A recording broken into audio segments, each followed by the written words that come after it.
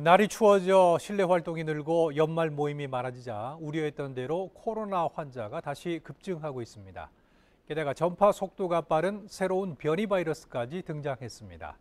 독감 환자도 역대 최대치를 기록하면서 코로나와 독감이 동시에 유행하는 투윈데믹이 현실이 되고 있습니다. 문수희 기자의 보도입니다. 제주 지역 코로나19 확진자가 다시 1000명에 육박했습니다. 이달 초까지 300명대를 유지하던 확진자 수는 지난 6일을 기점으로 급증하기 시작했습니다.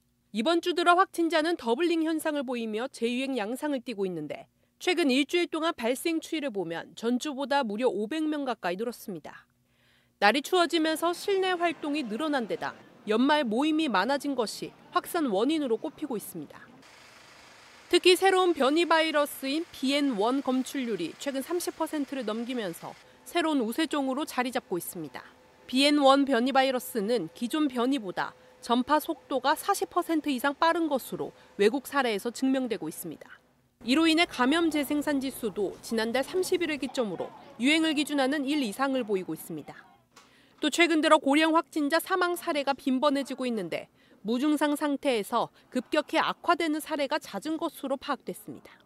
이에 반해 백신 추가 접종률은 인구 대비 9%에 불과합니다.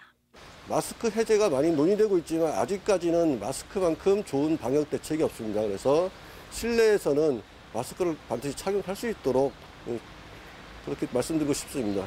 제주 지역 독감 의심 환자가 역대 최고치를 기록할 만큼 심각한 상황에서 코로나까지 다시 유행하며 우려했던 트윈데믹이 현실화되고 있습니다.